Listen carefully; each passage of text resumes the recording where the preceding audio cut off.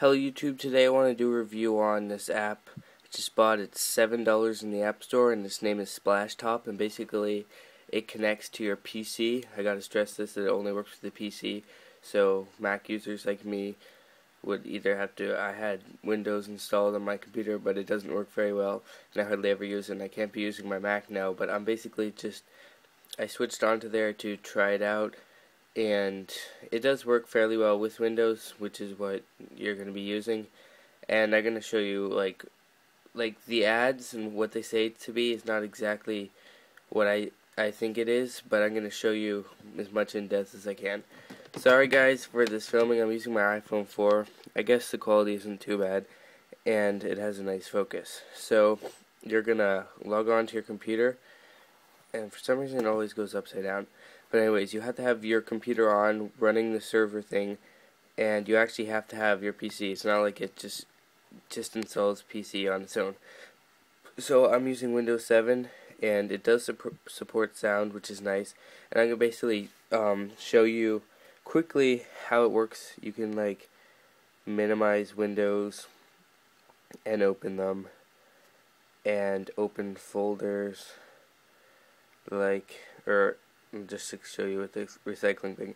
And this is basically my computer. This is um, what I have my Windows. I don't really keep it up or anything.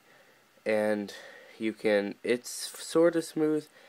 Um, my camera is basically as fast as it so you can see it, how fast it loads. So I'm going to basically show you Hulu, YouTube, and RuneScape. I know I haven't played RuneScape forever, but I'm just doing that for example, especially for you people that like playing games, just to give an example.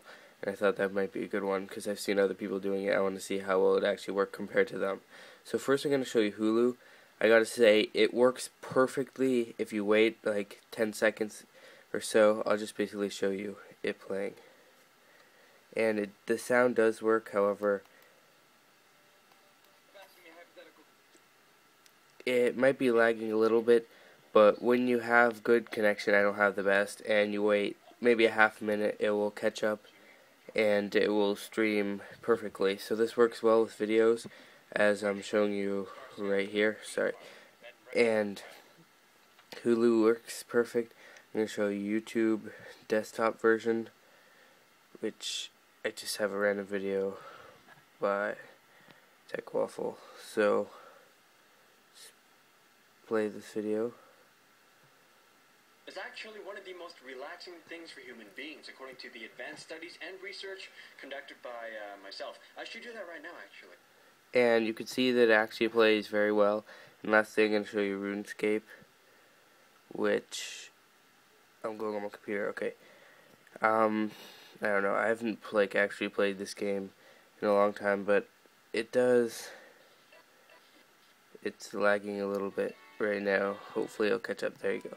So whenever you start a video something lags a little bit, but you do see that you can actually like move your character around. I guess you could trade.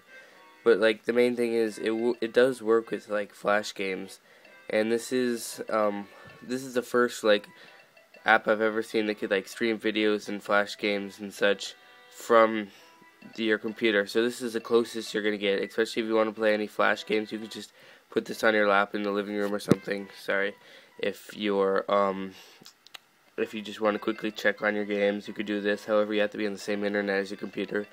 So I don't know how it's gonna roll out, but it's a pretty cool app. And if you definitely want the desktop experience with your computer, I definitely or the desktop experience with your iPad, I definitely definitely recommend you buy this app, especially if you have a Windows computer and use a dominant computer, especially a desktop.